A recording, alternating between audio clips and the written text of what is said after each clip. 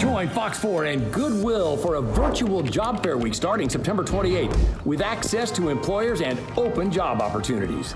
And did we mention it's all free? Register now at fox4kc.com slash job fair.